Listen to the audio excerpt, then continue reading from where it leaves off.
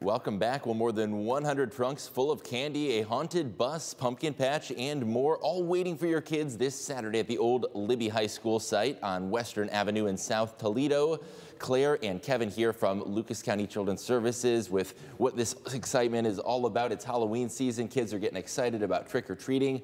Can you kind of describe what's going on this weekend? I was reading over it and it sounds like a fun event. Well, we wanted to provide a safe trick-or-treating uh, opportunity for children in the south end of Toledo there.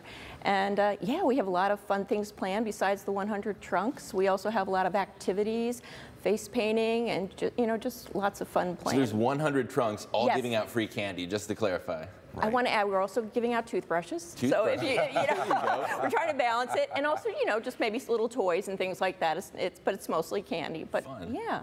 So what are some of the benefits of doing this kind of during the afternoon? You said it's 12 to 2, right, on Saturday? Right, because, you know, obviously we expect all ages, mm -hmm. and it's safe. We have it cordoned off. You don't have to worry about traffic or, you know, your child. You know, at night you always worry about that as a yeah. parent.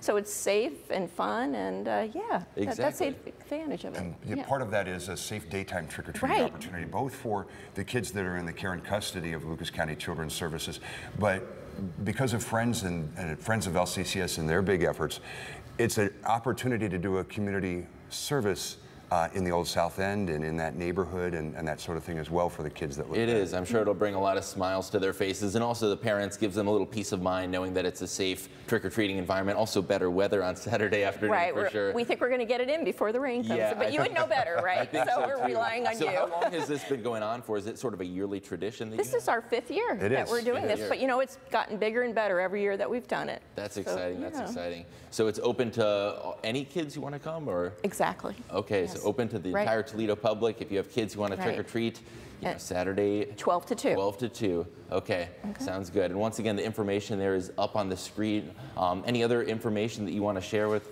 with the public about this event? It sounds like a really, really great trick-or-treating opportunity. Just want to point out that this is all volunteer, all donor.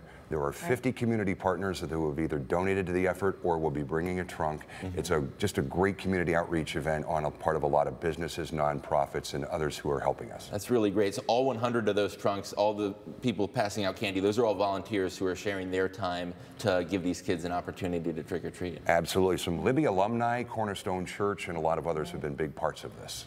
Okay, and why is Lucas County Children's Services presenting this event? What's the connection? This is a partnership between us and Friends, and it started off as a way for us to do it for the kids that are in the care and custody mm. of Lucas County Children's Services. And part of Claire's mission and her group is to ensure that these kids have as normal a childhood as possible and what better way than to allow them to go trick-or-treating in costume? They have been a fantastic partner with this. That sounds like a really great event. Saturday noon to 2, be sure to go out, get some free candy, trick-or-treat while the weather's still nice. Because right. uh, by Saturday evening, yeah, it's going to be a little bit rainy. So thanks so much for coming in. Sounds like a really great event and hope to see many folks there. While you're watching Thank Toledo's you. only